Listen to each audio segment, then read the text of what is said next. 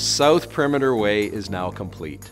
South Perimeter Way provides a third link in and out of the Upper Mission, improved access for emergency services, and better transportation connections for the proposed commercial developments in the Ponds neighborhood, as well as the newly constructed Canyon Falls Middle School.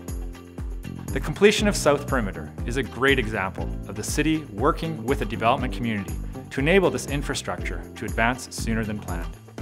We thank Ponds Ventures for financing the 9.2 million construction that will be compensated from development cost charges and ultimately save residents more than 1 million in taxation assist standard for DCC projects.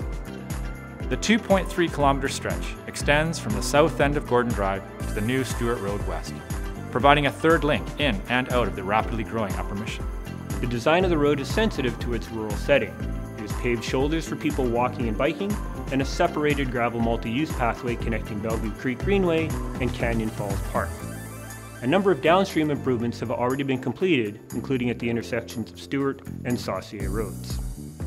Additional improvements to Bedford and Dehart roads will be considered once South Perimeter Way is operational and there is a better understanding of traffic volumes generated by the new road. Ponds Ventures requested to deliver South Perimeter Way earlier than as identified in the city's capital plans.